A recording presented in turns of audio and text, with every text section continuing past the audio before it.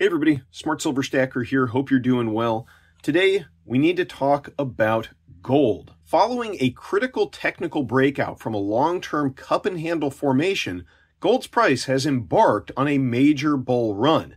In fact, the gold price just closed at the highest weekly level on record, $2,391. And when we examine this bull run that gold is on and what is driving the price of gold through the roof right now, we're going to find that this surging price action is likely just getting started. The fact is that the price of gold could surge drastically higher at any moment, and right now, there are many potential catalysts that could trigger such a move. In fact, we've recently gotten a preview of this, and we'll get into that in just a moment, but the bottom line here really is that there's a lot of buyers who still have not gotten into the precious metals market. But that could change very quickly. And when it does, it is going to have some major implications for us stackers. And I've teamed up with today's video sponsor, Great Pacific Gold Corp, ticker FSXLF, to tell you about it. More on them later. And before we get into it, I do just want to say a big thank you to all of you for tuning into today's video. If you enjoy it and you get some value from it, do me a favor, smash that like button down below. And while you're at it, why not subscribe to the channel? So to really understand why gold's price has this huge potential to surge higher, we need to examine what has been driving the gold bull run thus far. And the answer is central bank buying. We know from data released by the World Gold Council that central banks have been snatching up gold at the fastest pace on record. And why not? In an atmosphere of global conflict, de dollarization, and rising uncertainty surrounding monetary policy and persistent inflation, it's no wonder that the smart money wants to be in hard assets. Now, standard disclaimer here I'm not a financial advisor. I don't provide financial advice. I'm not telling anyone what to do with their money. But it seems to me that it would be wise to follow the lead of the central banks in this regard. That being said, retail investors really have not begun to jump into this market yet. If you want some anecdotal evidence of that, check out this headline from Bloomberg, which informs us that at Brooklyn pawn shops, customers are flooding in to sell gold. Now, this has been confirmed by people that I know and I've spoken with in the coin and the bullion business that among retail investors, there's actually been a lot of selling. It's not entirely one sided, of course, but a lot of holders of physical metals are seeking to cash in as prices have been rising. There's also the fact that inflows into money market funds are on track for the second highest year on record as investors flee into the perceived safety of cash even as gold takes out new all-time highs. When the reality of inflation dawns on those who are holding record amounts of US dollars, where do you think that money is going to flow. We can also look at the ratio of the S&P 500 to the HUI Gold Miners Index near the lowest levels in history. Central banks buy gold, not gold stocks, and this is just one more indicator of what has been driving the rally thus far in gold. Premiums on physical gold bullion products like coins and bars also remain relatively low at local coin shops and online dealers yet another sign of lackluster demand among retail investors. Remember how premiums soared in March of 2023 along with the crisis in US regional banks? Well, right now we are nowhere even close to the premiums on physical precious metals that we saw at that time.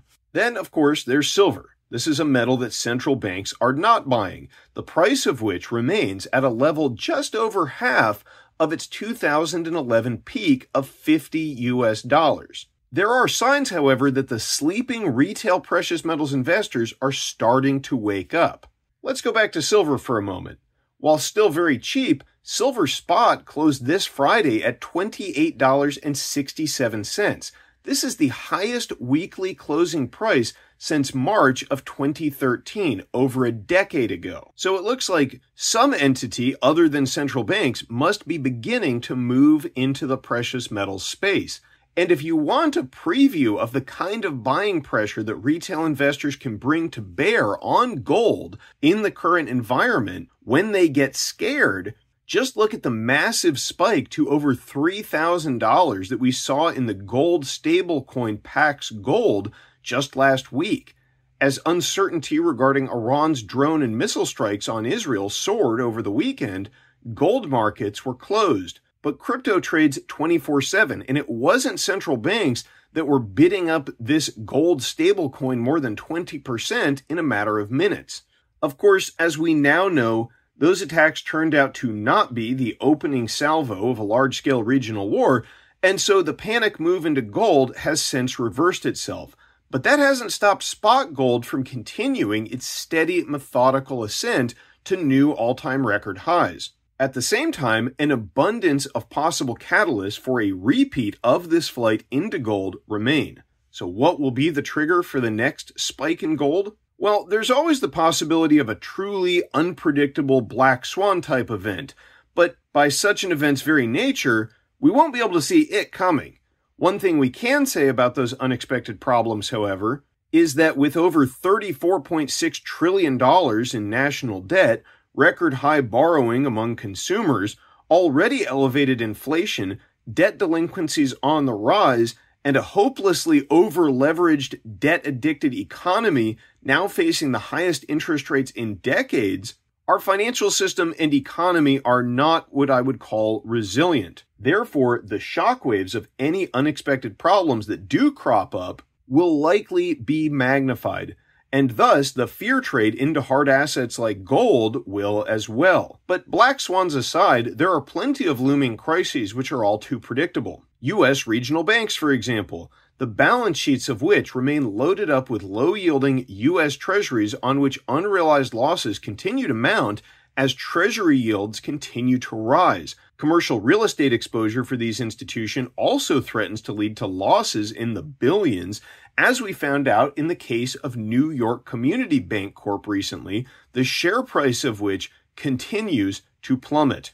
And if you think that retail investors poured into gold in March 2023 with the failure of Silicon Valley Bank and others, just wait until the next round of bank failures when it becomes clear that the problems are far more systemic than we've been led to believe, and crisis can only be averted by massive injections of liquidity aka fiat dollars, into the system. In this scenario, gold could be making double digit percentage moves in the course of single trading sessions. And we can't ignore the ongoing global geopolitical tensions either. With hotspots on multiple continents, escalating conflicts will only drive greater safe haven demand for gold. As we witnessed last weekend, we are one mistake or escalation away from soaring gold prices. Now, if nothing so drastic occurs, well, there's always the Federal Reserve. Anticipation of more easy money has been driving assets across the board higher.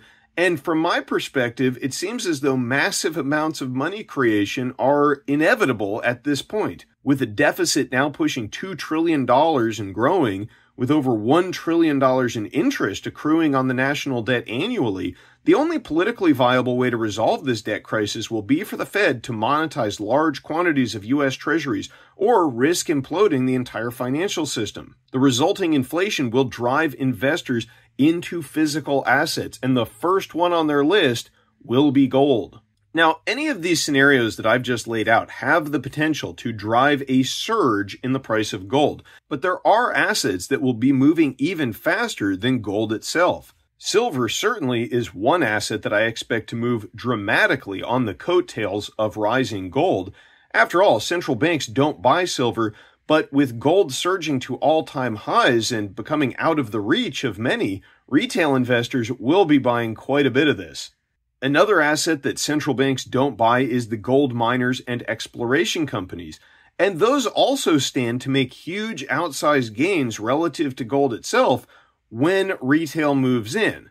Despite the fact that gold has been rising, I still view it as cheap. But if gold is cheap, gold companies are currently the bottom of the barrel slashed prices final sale closeouts. The way I look at it is that physical gold represents a savings account for preserving wealth, while gold companies are businesses whose earnings will benefit tremendously from high gold prices. And they will provide a means to grow wealth in a soaring metals market. Let's say that the price of gold doubles and goes to $5,000. I'll be very glad to have my gold coins and bullion, my Goldbacks, all of my precious metals. But the right gold companies will far outpace those gains in percentage terms. And I've partnered up with today's video sponsor, Great Pacific Gold Corp, ticker FSXLF, to tell you about a specific junior gold exploration company with a very compelling case for exactly this type of significant appreciation. For the first part of that story, we have to go back in time to the beginning of another company, K92 Mining. Back in 2014, when mining entrepreneur Bryan Slusarchuk stepped off a small plane into the sweltering heat of eastern Papua New Guinea. Bryan and his colleagues went on to purchase an underperforming and unloved project from Barrick Gold, at the time the world's largest gold mining company, for just 2 million Canadian dollars. Then he proceeded to help build a team and grow that unloved gold asset into a booming business with a market capitalization of over $2 billion. So before we get into Great Pacific Gold Corp, I want to ask you, have you ever wished you could get a second chance to get in on the ground floor of a hugely successful company? You know, Steve Jobs comes back and starts another Apple, Jeff Bezos launches another Amazon, or Let's say if you could get another shot to buy Bitcoin for under $1,000 like you could back in 2016. Of course, you probably have, I think we all have, but how often do we actually get a second chance at an offering like that? Well, this, in a way, is one of those times where you actually have that chance. Because Bryan Slusarchuk, as well as other members of the K92 mining team, are doing exactly that. They have founded a new gold company, Great Pacific Gold Corp, and they have purchased three key assets in Papua New Guinea Kesar Creek, Arau, and Wild Dog. And they are just drilling and exploring now. So this is in the very early phases, the ground floor, so to speak, and the level from which huge gains are possible. So, can the team at Great Pacific replicate the success of K92 mining? Well, from a proximity perspective, you really couldn't get any closer. You can see here just how close Great Pacific Gold Corp's projects are to K92 Mining's high grade, world class gold mine. Speaking of location, you might wonder what is so special about Papua New Guinea anyway. Well, for starters, it is home to incredibly rich mineral deposits the likes of which can drive a miner from 2 million to $2 billion in just a few short years. But you don't have to take my word for it. This is Tom Palmer, president and CEO of Newmont Mining, the world's largest gold mining company, on his recent visit to Papua New Guinea. So think about that. With gold taking out all time highs and likely to continue on one of its greatest bull runs in history, this is where the CEO of Newmont has decided to spend his time. As we discussed earlier, you really couldn't pick a better moment to scoop up gold stocks on the cheap. And Great Pacific Gold Corp is no exception. In fact, the last round of financing was conducted at $4 Canadian per share, and yet today shares are trading around 81 cents USD, a huge discount to that price. With no debt and approximately $10 million in cash on its balance sheet, Great Pacific Gold Corp finds itself in a strong position to expand operations and continue exploratory drilling. And with drilling underway, positive results could provide a powerful short term catalyst for significant price appreciation. So, if you're looking to take advantage of the current incredible value opportunity in the gold space, Great Pacific Gold Corp is one that I would take a deeper look at. But don't go out and buy this or any stock just because you heard about it here. Make sure you always do your own due diligence. A great place to start is by heading over to greatpacificgoldcorp.com. There's a link down in the description of the video. So is gold headed for a major breakout? Do you expect the price of the precious metals to surge sometime soon? Let me know what you think in the comments down below. Thanks for watching, everyone. Stay safe and happy stacking. I'll catch you next time. Smart Silver Stacker, out.